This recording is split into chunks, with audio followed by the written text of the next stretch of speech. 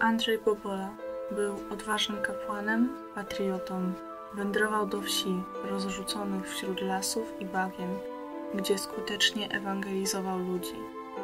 Został nazwany duszochwatem, czyli łowcą dusz.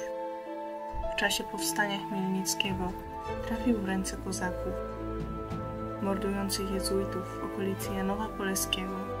Był biczowany, cięty szablami, leczony koniu. Próbowano go zmusić do wyparcia się wiary katolickiej. Odmówił. Oddano go torturom, cierniem koronowano.